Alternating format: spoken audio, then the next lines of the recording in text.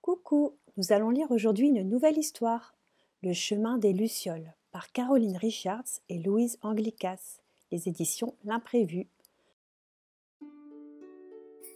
Par un bel après-midi ensoleillé, Petit Ours part s'amuser dans la forêt.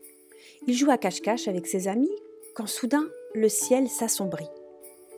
Petit Ours décide de rentrer car ses parents vont s'inquiéter. Mais la nuit est déjà tombée et il ne sait plus où aller.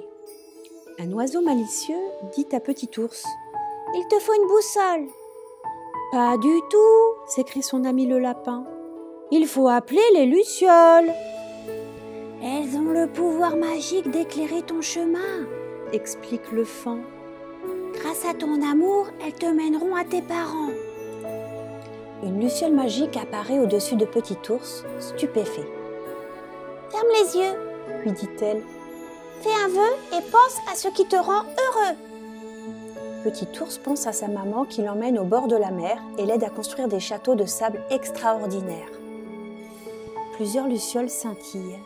Dans la forêt, le chemin s'illumine. Petit Ours comprend que l'amour est plus fort que tout. Il rêve de rentrer chez lui et de se blottir dans son lit. Il pense à ses parents et fait le vœu d'être bientôt auprès d'eux. Petit Ours se souvient des jours d'orage passés avec son papa à préparer de délicieux biscuits au chocolat. Plus ton amour est grand, plus notre sentiment est puissant, explique les lucioles. Ne t'inquiète pas, tu vas bientôt rentrer chez toi. Les lucioles sont nombreuses et de plus en plus lumineuses. Petit ours suit le chemin qu'elles éclairent et arrive bientôt au bord d'une rivière. Accompagné par ses amis, il se sent fort et sûr de lui. Grâce aux petites lueurs, il franchit la rivière sans peur.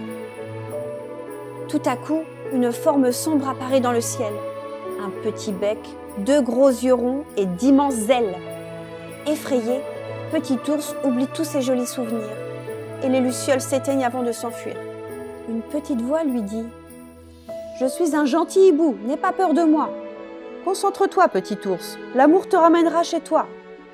Alors Petit ours pense très fort aux douces soirées où, blotti contre sa maman et son papa, il se sent en sécurité. Les lucioles avaient raison. Petit ours aperçoit enfin sa maison. Il remercie tous ses amis de l'avoir aidé à rentrer chez lui. Petit ours se jette gaiement dans les bras de ses parents et leur murmure tendrement Je t'aime, papa, je t'aime, maman, je suis tellement heureux, dit Petit ours à ses parents.